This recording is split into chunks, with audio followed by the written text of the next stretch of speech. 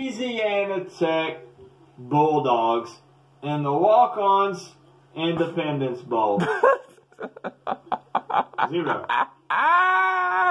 It's not a typo.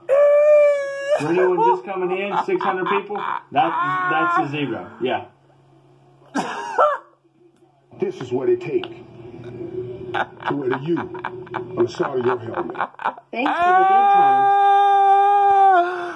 You're welcome, Banjo. there weren't many of them, were there? Miami's Don't back. Where the new Miami? I've I don't remember the last time. Y'all can say what y'all want to say about the SEC championship That game, but at least we scored 10 I points in the damn game. God damn, Miami. This little hope for this program and this team. Now, again, we have changes coming, right?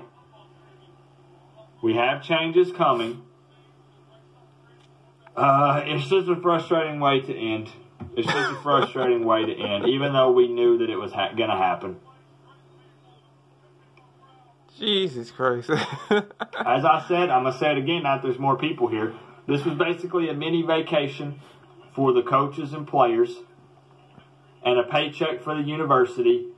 The only payment required uh, from the the coaches and the players and whatnot was to play in this game. Win or loss didn't matter. It's just a mini vacation to Louisiana to go sightseeing for a couple days. they should have took that cocaine at halftime. They probably would have won the damn game.